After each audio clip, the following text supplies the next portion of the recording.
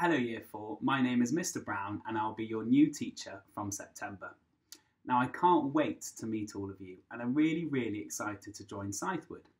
Now I'm sorry that this is the first time that you're meeting me, so this video is just a short introduction about my expectations in Year 4 and also just a bit about myself. Now my expectations are, they're quite clear really. The first is respect. Now I love the word respect because if we all show each other respect, we can really have fun and get a lot of learning done. Now, the second is teamwork. I love that word as well.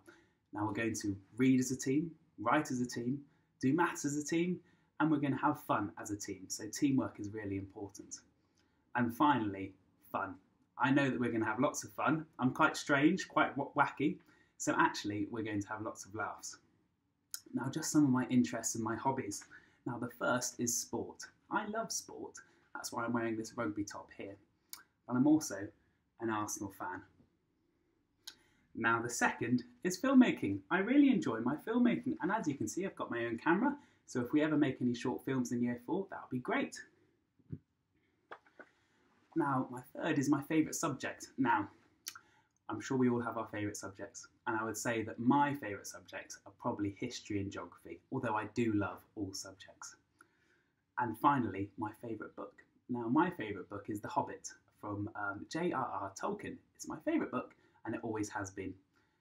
But actually, there's one more thing. My favourite food. Now, I really like bananas, so if you see a few bananas in year four, don't be uh, surprised. Now, what I want to know is a bit about yourself.